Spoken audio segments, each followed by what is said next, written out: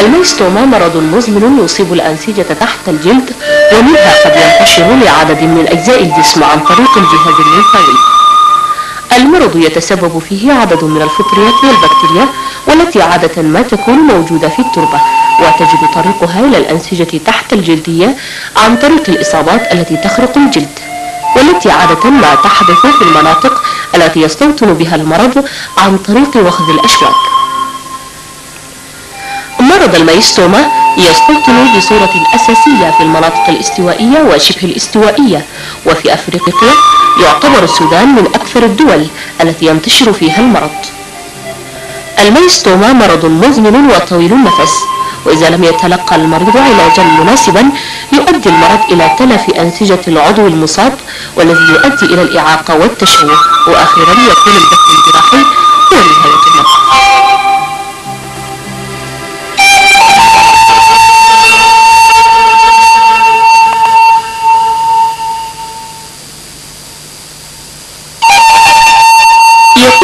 الجراحة هو الشيء الوحيد الذي يمكن أن يحد من تقدم هذا المرض السرطاني بالرغم من الآثار السلبية والاجتماعية والاقتصادية التي يتحملها المرضى وذويهم.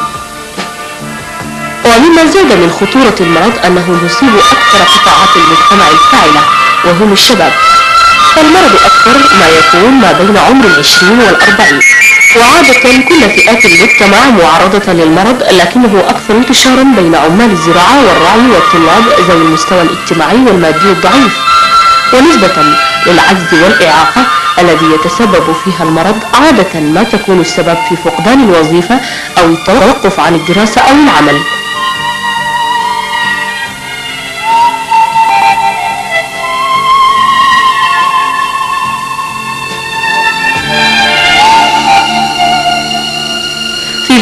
تطور المرض وفي مراحله الأولى يمكن استعمال الجراحة بسهولة لإزالة الأنسجة المصابة قبل انتشار المرض. ولكن في أغلب الحالات ينتكس المريض إذا لم تصاحب الجراحة العلاج بالأدوية المضادة للفطريات والبكتيريا إن تشخيص المبكر للمرض والعلاج الدوائي المنتظم والتدخل الجراحي في الوقت المناسب كفيل بتوفير العلاج الناجح. لكن المشكلة تكمن في أن مرض المايستوما يصيب الطبقات الفقيرة في المجتمع والأدوية المتاحة للعلاج باهظة الثمن. فعلى سبيل المثال تكلفة علاج لمريض واحد مصاب بالمايستوما الفطرية تبلغ أكثر من ثمانية ملايين جنيه سوداني في العام الواحد وهذا بالطبع فوق المقدرة.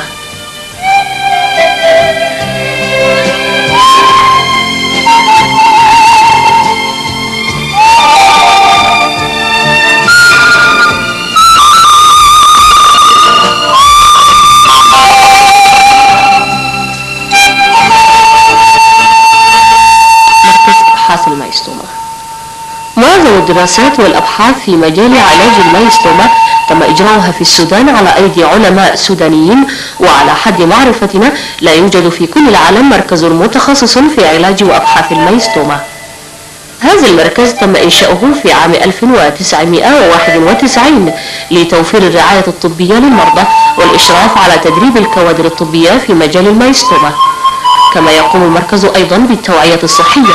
وذلك بالمشاركة في المؤتمرات العلمية وورش العمل والسيمينارات ونشر وطبع الكتب والملصقات وغيرها.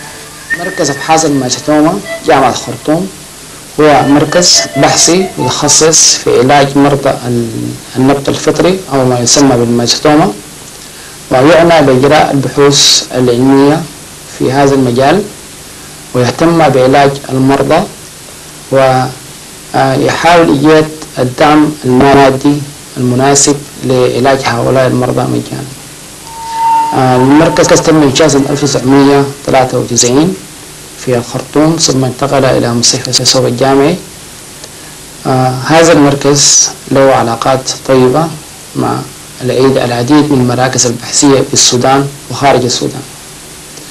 آه، تم إجراء العديد من الأبحاث عن هذا المرض والمركز بالإضافة إلى جامعة الخرطوم سوف يساهم في قيام المؤتمر العالمي الثالث لداء النبط الفطري إن شاء الله في الفترة من 3 إلى 5 فبراير آه، 2002 يشرف المركز على عدد من الأبحاث في مجال التشخيص والعلاج بالتعاون مع عدد من المراكز المحلية. على رأسهم معهد الأمراض المتوطنة بجامعة الخرطوم.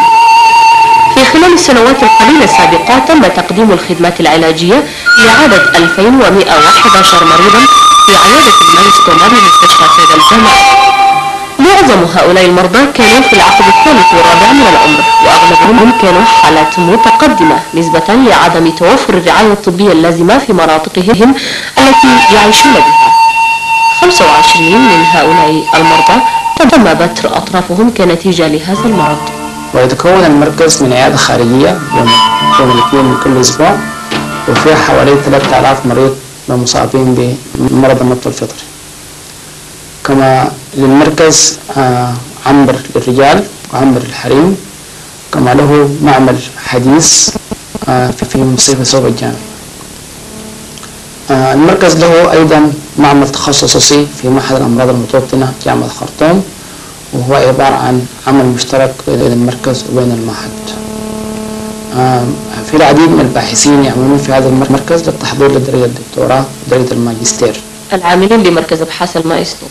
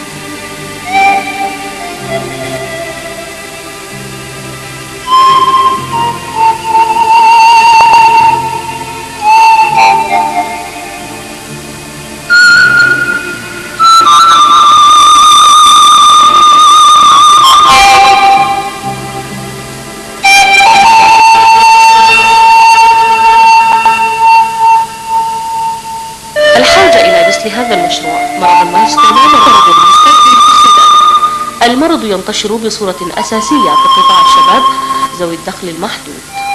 المرض يسبب تشوهات وإعاقة في العضو المصاب ويؤدي إلى البتر في كثير من الحالات. ارتفاع معدلات الانتكاسة في المرضى الذين تتم معالجتهم بالجراحة فقط بدون استعمال العقاقير الطبية. توفر عيادة المايستوما سوف يتيح الإشراف الكامل على علاج هؤلاء المرضى.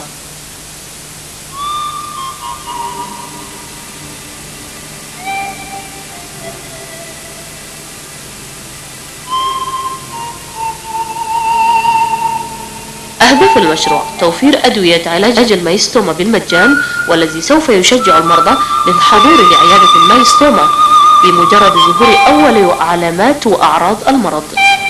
مما سوف يجنب عدد كبير منهم عمليات بتر الأطراف وذلك سوف يكون له انعكاسات إيجابية منها بالحفاظ على أعضاء المجتمع الفاعلة وتقليل نسبة الإعاقات والعاجزين عن العمل.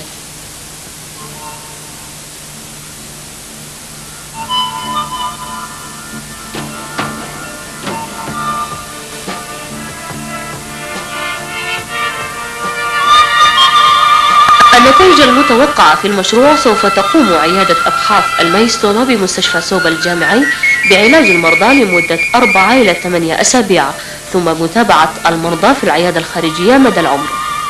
عدد المعوقين والعاجزين عن العمل سوف يقل وبما سيكون له أيضا انعكاسات طيبة على المجتمع. سوف يتم تقييم الأدوية ومدى فعاليتها في علاج المايستوما عن طريق دراسة سجلات المرضى الذين سوف تتم متابعتهم في العيادة الخارجية على فترة منتظمة. احتياجات المشروع. يحتاج المشروع لأدوية لعلاج ألف مريض بمرض الميستوما الفطري باستعمال عقار أتراكونازول لمدة سنة. وعدد 500 مريض بالميستوما الفطرية باستعمال عقار كيتوكونازول لمدة سنة. كما يسعى المشروع أيضا لتوفير الأدوية الخاصة بعلاج المايستوما البكتيرية لعدد ألف مريض لمدة سنة.